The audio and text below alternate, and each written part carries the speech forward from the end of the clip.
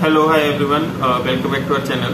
Today we are gonna check out a video by Rahul titled as "The Story Behind Second Biggest IPO Crash: Paytm Stock Analysis." Let's jump to the video. Hi friends.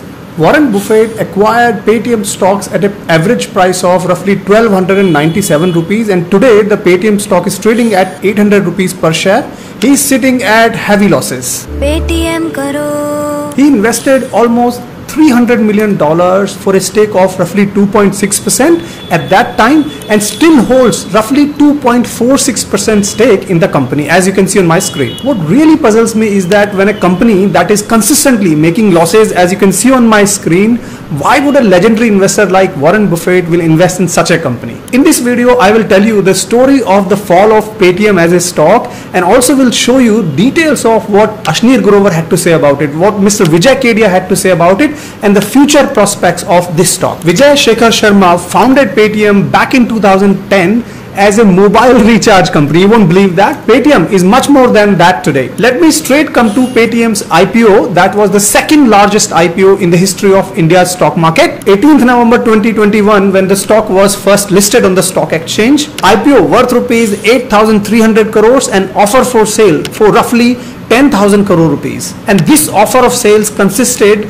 the sale by their CEO Vijay Shekhar Sharma for roughly around 402 crores. So the first key takeaway here is that their CEO Mr. Vijay Shekhar Sharma minted crores of rupees while investors lost crores of rupees. Well, not all of them. The first listing day of the stock was down by almost 27% and it has never gone back to its listing price levels. What has caused this fall? Let me quickly tell you. 22nd November 2021 the anchor investor sold their stocks after the 30 days lock-in periods was done they would have minted crores of rupees but the stock prices fell by almost 8% in one single day. God only knows at what prices these anchor investors acquired the stock but if i was a betting man i would say that they would have minted crores of rupees and they exited as soon as the 30 days lock-in period was done and dusted. So the second key takeaway here is that not only the ceo mr vijay shekhar sharma minted crores of rupees anchor investors also made crores of rupees, leaving the retail investors in misery. Within a month, the IPO was declared as a failure, and when the question was asked to their CEO that,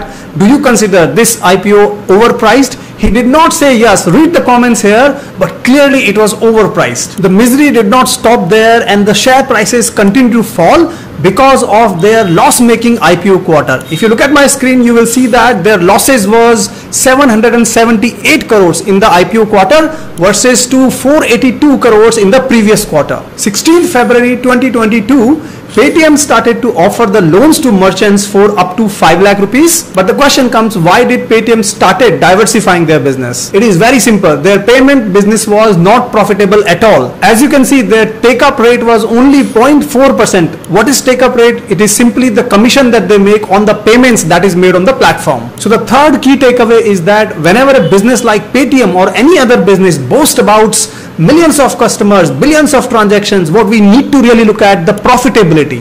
It is as simple as that. And then comes another screaming big news that their CEO, Mr. Vijay Shekhar Sharma, was getting ESOPs, employees stock options. The ESOPs that were granted to Vijay Shekhar Sharma was at around 3.2% of the stake of the company. And just to put this in context, he could exercise these stocks at a mere price of 9 rupees per share. Investors now started to ask this question, when will this company become profitable? And for this, Goldman Sachs projected that it is going to be at least fiscal year 2026. Meanwhile, the stock prices was continuing to fall and it came to roughly rupees 672 and the main reason here was that RBI banned the Paytm bank to onboard new customers. Apparently, during an IT audit, RBI found that the company was leaking some customer data to the Chinese firms, to which Paytm responded very, very quickly that we are not sharing any data with Chinese. In fact, the data is safe and secure. But by then, the damage was already done because the share prices were falling like a free flow rain. Irrespective of what was the truth, the point remains that RBI had imposed a ban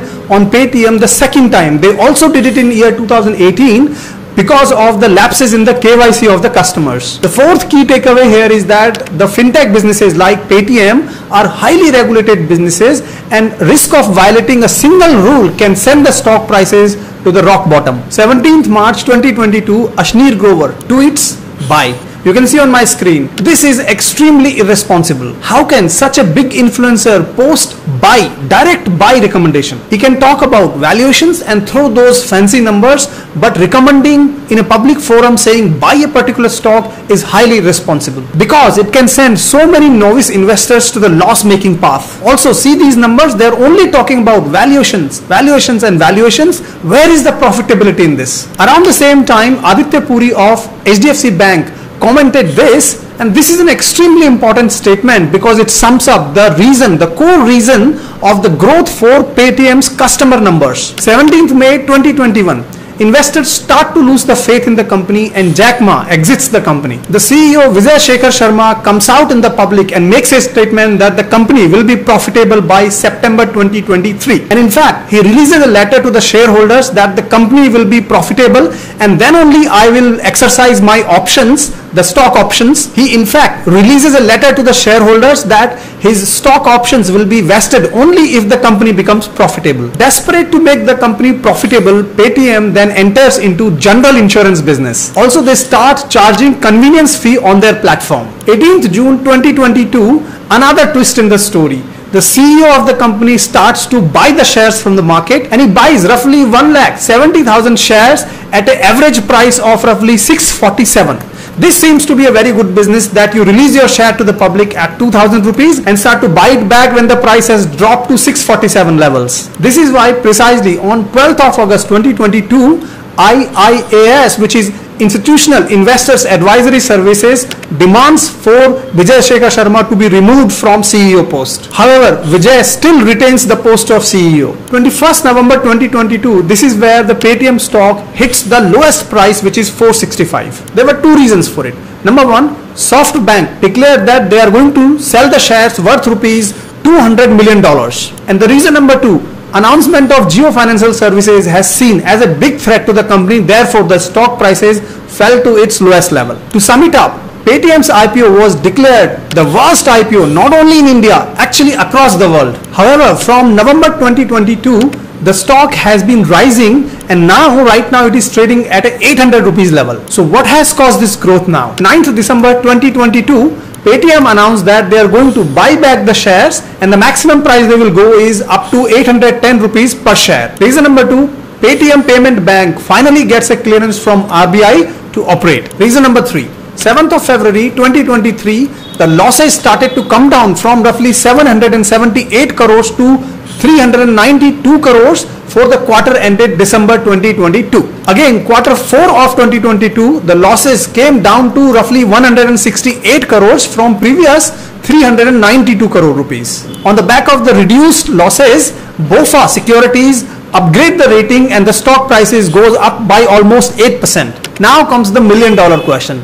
Will the share prices continue to grow further and is there an opportunity for us to invest any money? For that, the first consideration is when is this company actually likely to become profitable? For that, if I show you my screen, you will see that what analysts are predicting or estimating right now is that fiscal year 2024, their earning per share will still be in negative while in fiscal year 2025 the earnings will go up in the positive first time and also by the end of fiscal year 2026 we will see something like 20 rupees per share as positive earnings. The second factor is the risk associated with Paytm stock. What you will see on my screen is that SoftBank has been selling the stock consistently and even on 18th of July they still hold roughly 10% of the stock. So there is a danger that whenever SoftBank sells the stocks the price will come down heavily. The third key consideration is Jio Financial Services business proposition and that is the biggest threat to Paytm's growth. And finally Mr. Vijay Kedia sums it up beautifully. What he says is that I do not invest in shares where there is no predictability. I'm not interested in investing in stocks like Paytm and Zomato at any price. This is phenomenal. This is a really, really big statement. And to a great extent, I support Mr. Vijay Kedia's comment here because until this company becomes profitable, as an investor, I have more than 4,500 stocks on the stock exchange that I can explore and find out the profitable stocks. The intent of creating this video is not to defame anybody. It is my personal opinion backed by the research that I have done please feel free to take your own positions. Also, I would love to create similar videos on LIC, the biggest IPO, as well as Zomato, which is very similar IPO, which has failed badly Let me know in the comments if you would like me to